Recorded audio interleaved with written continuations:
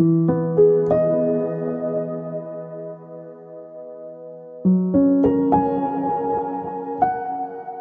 my name is Natalie.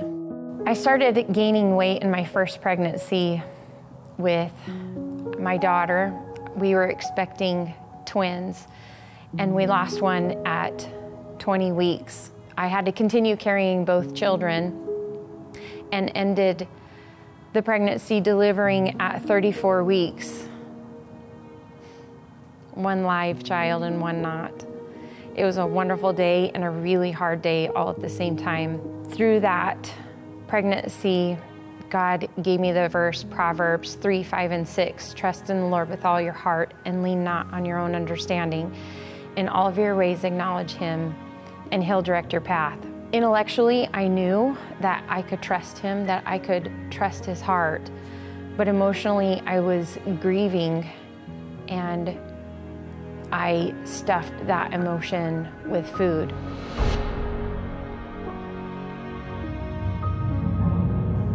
I stopped weighing myself when I hit 250 pounds. I just was embarrassed and couldn't look at the scale anymore. My kids asked me to run a one mile fun run with them, and I started with them, but I couldn't finish. And at that point, I knew that if I wanted to be the mom that God called me to be, I had to lose weight.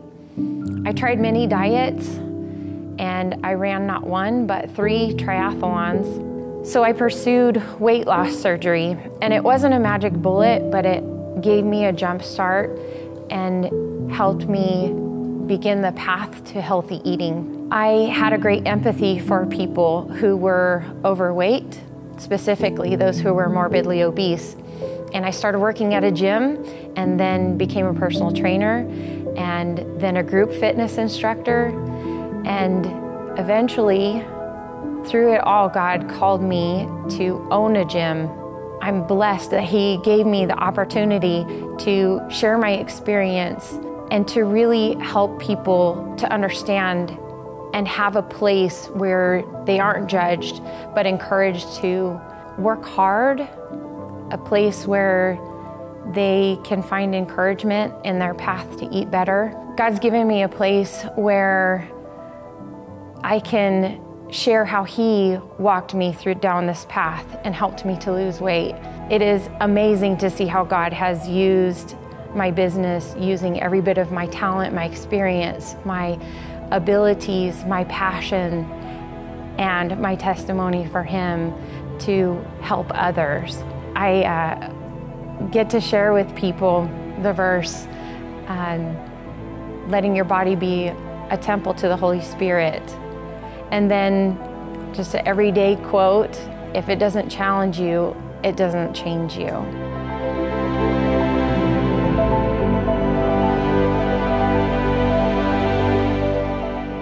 My name is Natalie, and Jesus has transformed my life, and He can redeem yours as well.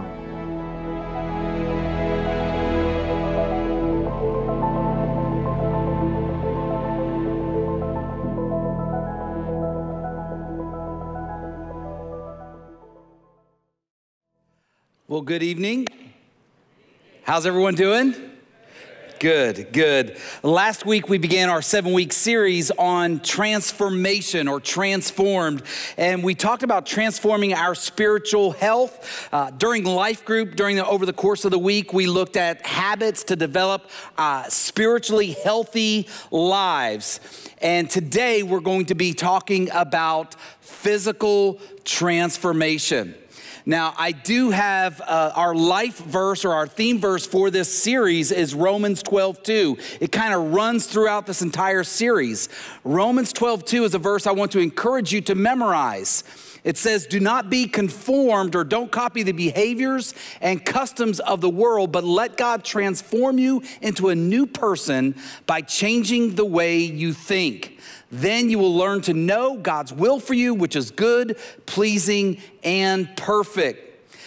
The whole idea behind this series is that you and I have got to be open to allowing God to change us into a new person by transforming the way that we think. Today, we kick off the week talking about transforming our lives physically. And I want to welcome our Parker campus who is joining us online today. In fact, I want to welcome everybody that is there watching with us across the United States and around the world. We're glad that you are there with us. If you have your Bible or Bible app, you can turn to Psalm 23, 1 through 6. And if you did not bring a Bible, you can feel free to use one of the Bibles located underneath the seat in front of you here at our Sweetwater campus and at our Parker campus campus, feel free to jump up, go to the back of the room, grab a Bible that is there in the middle of the room on a table. If you don't have a Bible or one that you can read or understand easily, I encourage you to take one of our Bibles home with you, read it, and apply it to your life. We really believe that if we read God's Word and apply God's Word, He will change our lives, and that's about transformation. Now, if you haven't noticed, as we talk about physical transformation, I am not what one would call a physical specimen. I've got, I, I've been told I'm a level kind of guy because the bubble's in the middle. That's like an old school pastor joke. So, Perhaps at one time I was close to being a physical specimen when I worked construction, uh, but I am no, certainly no Natalie. So today we're going to focus on a physical transformation uh, by discussing stress. Stress. Did you know that 77% of Americans struggle with stress, and that stress impacts our physical health? Stress can cause low energy, headaches, upset stomach, diarrhea, constipation, nauseousness. Stress can cause aches and pains and test muscles. Uh, uh, stress can cause chest pain, rapid heartbeat. Chest, uh, stress can cause insomnia, frequent colds, infections. Also, loss of sexual desire and or ability. So raise your hand if you've had a loss of sex. No, I'm just kidding. Nervousness, shaking, ringing in the ear, cold, sweaty hands and feet, dry mouth, difficulty swallowing. This list sounds like a disclaimer from a pharmaceutical company. And stress can cause all of those things in our lives physically. And if left unchecked, stress can cause heart disease, high blood pressure, abnormal heart rhythms, heart attacks, and stroke. Stress can kill you if it's left unchecked. Now, don't get stressed out about having stress. I don't want anybody dropping on the floor in the middle of this message. Okay, we're gonna talk about stress and God's remedy for our lives on how to deal with stress biblically. So, if you are today a little bit tired, if you're a little bit worn down, if you're a little stressed out, you picked a great week to come to church because we're gonna do everything we can to help you. We're going to look at the most famous Psalms in the Bible, Psalm 23. Now, David was a shepherd boy who wrote Psalm 23, and God had chose David to be king over all of Israel. But there was a problem. Saul was already king over Israel. And when Saul heard that God had rejected himself as the king and chose David to become the new king, he set out to destroy David's life and kill him. He hunted uh, David for years. So David spent many years running from King Saul and his armies. So if there was anybody that was stressed out, it would have been David. But in Psalm 23, we can find God's prescription on how we can live with less stress in our lives. Psalm 23, 1 through 6 says this The Lord is my shepherd, I shall not want. He makes me lie down in green pastures. He leads me beside still waters. He restores my soul. He leads me in paths of righteousness for his name's sake. And even though I walk through the valley of the shadow of death, I will fear no evil, for you are with me. Your rod and your staff, they comfort me. You prepare a table before me in the presence of my enemies. You anoint my head with oil, my cup overflows. Surely goodness and mercy shall follow me all the days of my life, and I will dwell in the house of the Lord forever. To control stress in my life, the very first thing that I need to do is to look to God to meet all my needs. Look to God to meet all my needs. Now, that may come as a news flash for you. I'm a pastor, I'm a follower of Jesus. We're inside church. It even sounds like a churchy thing to say. Yet, for many followers of Jesus, they don't really look to God to meet all their needs. Instead, they oftentimes look to family they look to friends to meet their needs. They look to their spouse to meet their needs, their children. Uh, they want their spouse to make them happy, and they experience happiness when their needs are met. But when their spouse dies, or they go through a divorce, or they lose their job, they wind up asking themselves, Who is going to make me happy now? Who can I, who can I trust with my needs now? We should never put our security in anything that is temporary. Uh, anything that can be taken from us. We should always find our security in something that should never be taken from us. That's what real security is, isn't it? If we place our security and our hope in something that cannot pass away, then that sounds like a wise decision.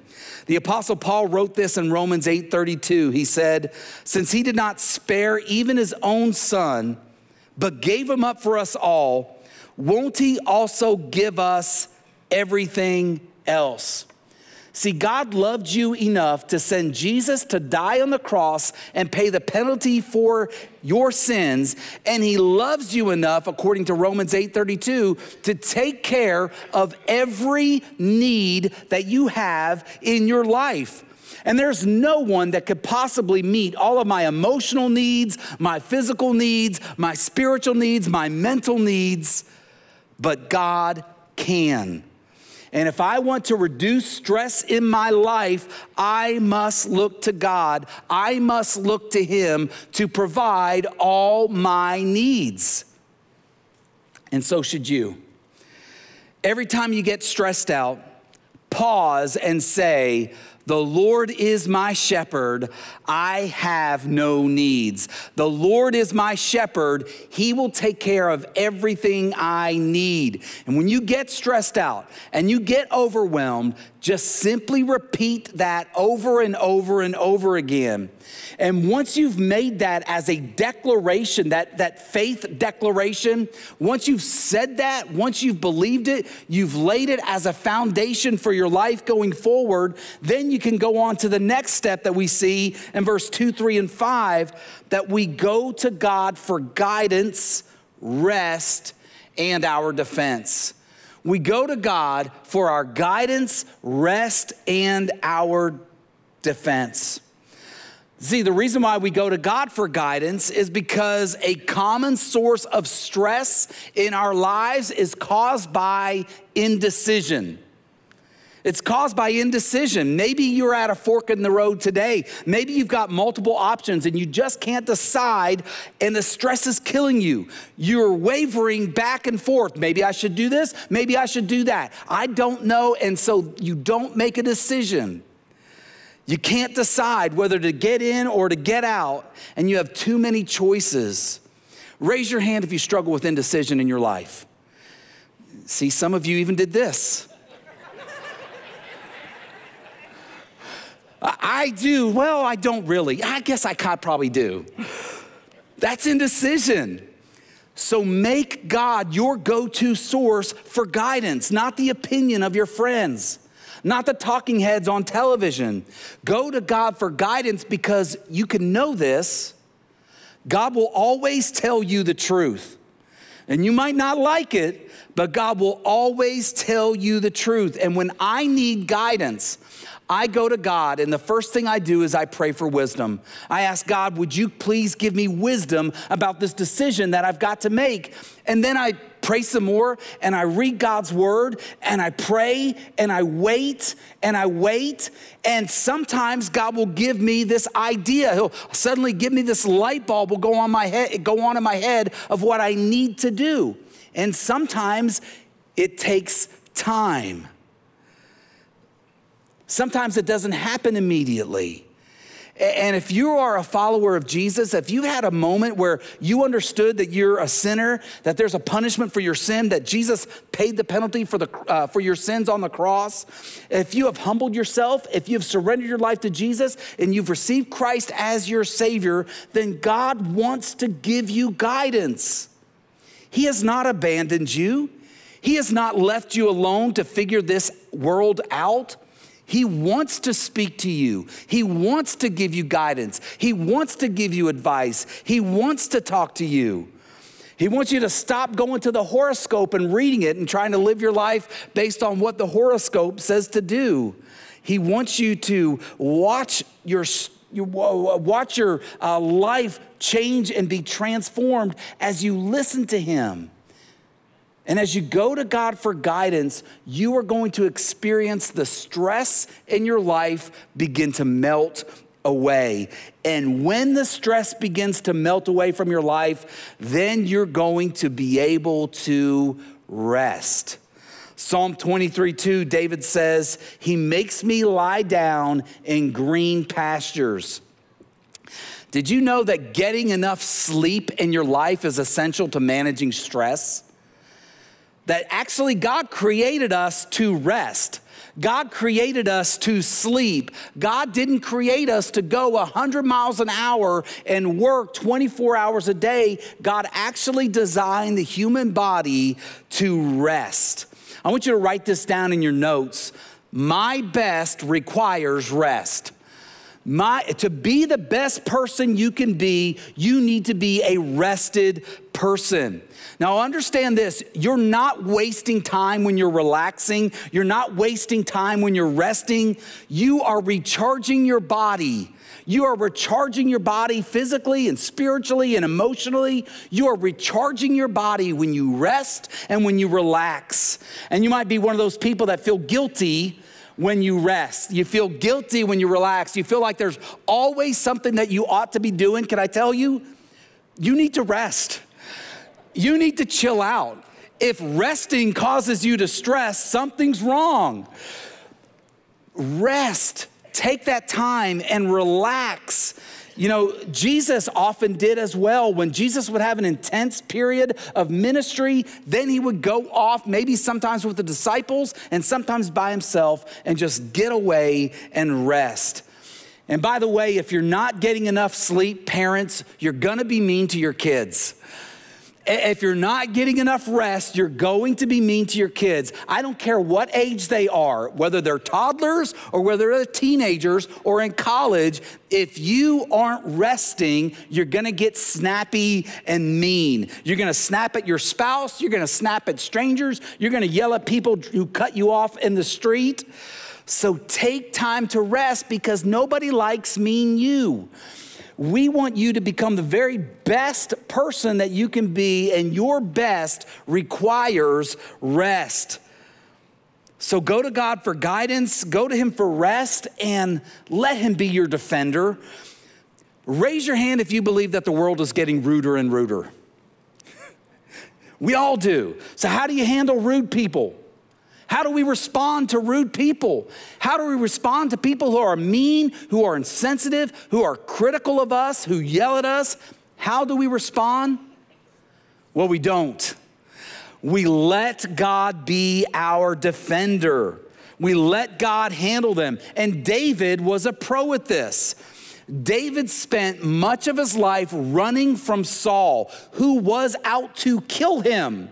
He wasn't just criticizing David, he wanted to literally cut off David's head and hold it up in victory to tell the Israelites, uh, I am your king. David is not. He hid in caves. Saul and his legions spread lies and rumors about David. He was criticized constantly. Yet David never said one bad word about Saul. He never, he never said one bad word about the man that was trying to kill him. In fact, in verse 5, David used a metaphor to describe what it was like for God to be his defender. In Psalm 23 5, David said, You prepare a table before me in the presence of my enemies. You anoint my head with oil. My cup overflows. I love that metaphor because David is actually saying something like, while he's being surrounded by all the mean people, by all the people that want to kill him, to take his life, he's surrounded by the people who want to destroy him.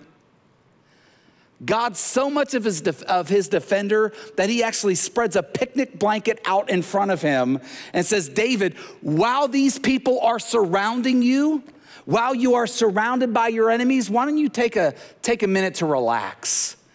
Why don't you take a moment and eat from the food that I provided for you? Why don't you take a moment and enjoy all these delicacies? What an incredible metaphor for David to be able to say, He is my defender. That in the midst of criticism, in the midst of being hunted down, he was still able to relax, to let down his guard, and to enjoy life because he knew his God was his defender. David could eat delicious food while his enemies hunted him down. So let that metaphor stick in your mind. Relax the next time you're criticized. Relax the next time you have an enemy coming at you, and let God be your defender. And another way to control stress in life is to trust God in the dark valleys of life. To trust God in the dark valleys of life. Well, I would say this 2020 and 2021 have brought plenty of reasons to be stressed out in life. Would you agree with me? See, some have not been able to attend a funeral for a loved one in person. Instead, they had to watch live stream because of COVID. That's a huge stress factor. I can't attend the funeral of my loved one, I've got to watch it online. In 2020, parents became their child's primary educator. That's stressful. That's crazy. I'm having to look at math problems that teachers said I would always have to use these formulas in life, and I've never used them since seventh grade. I have no clue what I'm talking about. My girls have stopped asking me for help. they have, even, even my youngest, who's eight years old. People have been laid off. That's caused stress. Businesses have been closed for, un, for questionable lengths of time. That has caused great stress. We don't know whether we should take a vaccine or not. That creates stress. On every cable news channel, everybody's pointing fingers at one another and everybody's yelling. And then we have the President of the United States being censored and removed from Facebook and Twitter and other social media, uh, other social media sites. That causes stress. We're encouraged not to be with our family over Christmas and Thanksgiving, and then, of course, the recent riot at the Capitol. But here's what David writes in verse 4 Even though I walk through the valley of the shadow of death, I will fear no evil, for you are with me. Your rod and your staff comfort me. See, David says, I am not going to stress out because God is my protector. God is helping me. And I'm going to trust God in these dark valleys, even though I'm walking through the valley of the shadow of death. Some of you, 2020 and 2021, maybe you're walking through a valley of a shadow right now. It may be the valley of a shadow of debt that you're just overwhelmed. It may be the valley of the, the shadow of death. You've experienced a loved one's loss and your heart is aching. It may be the valley of the shadow of conflict or the shadow of depression or the valley of the shadow of discouragement. I can tell you this shadows are scary. I remember being a child and waking up in the middle of the night, looking at this shadow that I would see, and knowing for sure it wasn't a shadow, it was a monster, and it was about to eat me, beginning with my toes all the way up, going slowly. Did you ever have a shadow that you were afraid of when you were a child, when you were oh, sleeping? See, most of us did. But guess what? We learn this when we grow up. Shadows can't hurt us. Shadows can't hurt us.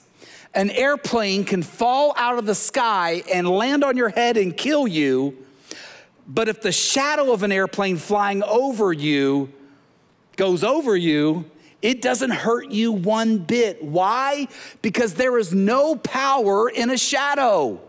Shadows can't hurt. And I've been thinking about this as I think about this in relation to COVID 19, as I think about this in relation to the election. It's possible that living in fear of the shadow of COVID 19 is actually worse than the disease itself. It's actually possible that living in fear of what happened in November with the election about who our new president and vice president is, is actually, the fear of that is actually going to be worse than what will actually happen. There's all kinds of things that can generate fear and worry in our lives, and the talking heads on television love to get a spark out of us. They love to get a rise out of us. They love to generate fear and worry, but understand fear and worry are only going to lead to stress in your lives. And stress in your lives caused by fear is not needed and unnecessary because you know the God who holds you in your hand. So none of us know the future. So let's not allow fear of the unknown to create more stress in our lives. None of us know what's going to happen in March, April, February, whatever. I messed up the months. See, I told you my daughters don't want me to help them. but make a decision that you will trust God in the dark valleys anyway. Trust God when you walk in darkness. Trust God when you cannot see. He is there to give you and I guidance, rest, defense, and He will walk with us through those dark valleys. And since He's there for me, I can expect God to finish what He began in me. I can expect God to finish what He began in me. I expect God to finish this work of salvation that He started in me. Let me ask you a question Are you a what ifer? Are you one of those people that are afraid of the future? What if this happens? What if this went wrong? What if that went bad? What if this? What if that? What if this occurs? And if you are a what ifer, know and understand that is going to lead again to a lot of unnecessary stress in your life. And it's unfortunate because you are creating that stress in your life. It's not coming from an external force. It's being generated by you saying, What if? What if? What if? What if I get COVID? Uh, what if uh, uh, uh the next presidential uh, people, what if they actually enact the policies that people on the right side say they will? Or, or what if they enact the policies that people say on the left side they will? What if? What if? Oh, it's the end of the country. I heard a very, very funny joke from a friend in our life group. And the joke was this What if, wait, I'm gonna say it wrong. What happens to America when Donald Trump and Joe Biden are abandoned on an island out in the middle of the ocean? Nothing. Gonna be just fine.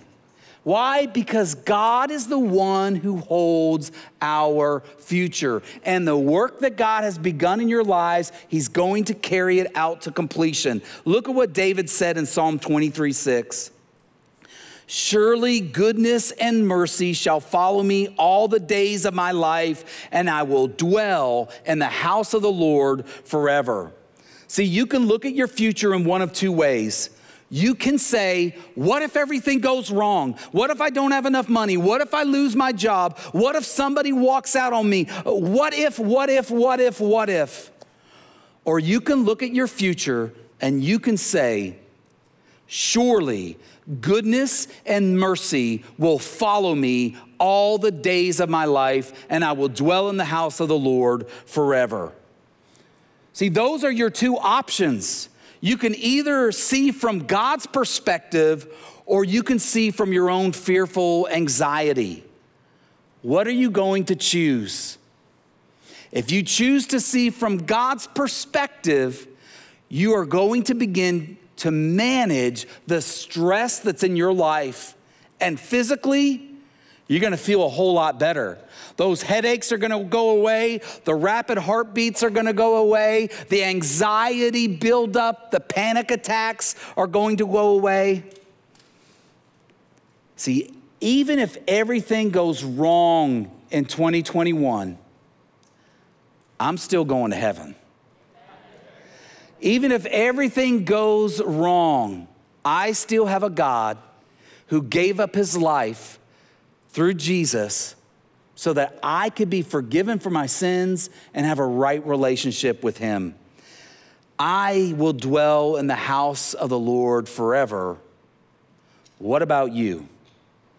If you're an individual that has not yet trusted and received Jesus as your Savior, but today you decide that you want to. Our prayer team is going to be here at the close of the service, and they would love to help you discover that right relationship with God through prayer. They can help you discover what it means to know Jesus personally and to experience forgiveness of your sins. Now, as followers of Jesus, we should be setting the example to the world for how to deal with the stressful world that we're living in. Uh, don't backbite against other people. Don't hide online and lob attacks. Deal with stress by letting God live through you and by allowing God to be your defender. Go to Him for guidance, go to Him for rest let him be your defender. Walk with him through the dark valleys and trust in him. Let's pray together. Father, we, we want to acknowledge that some are walking through darker valleys than others. Some have experienced so much loss in their lives. And Father, we want to ask that you would wrap your arms around them, that you would comfort them, that you would protect them, and that they would experience you leading them, equipping them, strengthening them. And Father, we want to acknowledge that it's been stressful. Even 2021 so far has been crazy, but you are our God, and you are still on your throne, and we trust you. Lord, help us to be a people that demonstrate we really believe you're in control. Help us to walk with you and become the people of God that you've created us to be. It's in Jesus' name we pray. Amen.